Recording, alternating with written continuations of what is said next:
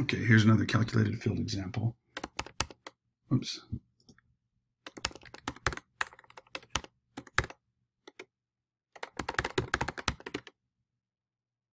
Actually, we have um, a couple different things here.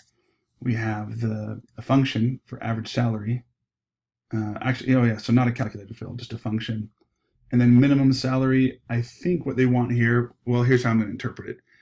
I don't think they're talking about this min salary for position.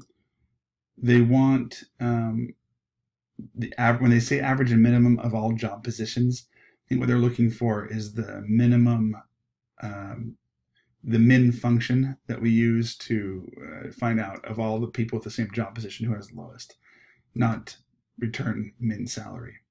Anyway, let me show what I mean. So we've done average before, not a problem.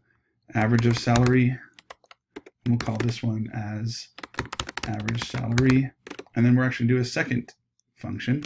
We can use the min, and there's also max is available too. We'll do the min salary as minimum salary from, we need employee because that's where we're going to get salary. And then position title comes from position.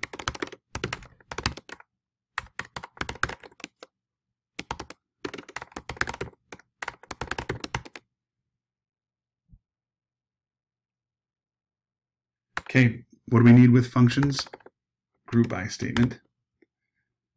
Let's group by, uh, well, the rule is, if you remember, any field that's not currently having a function used on it has to be down here in the group by statement. There's only one position title. So I believe that's it.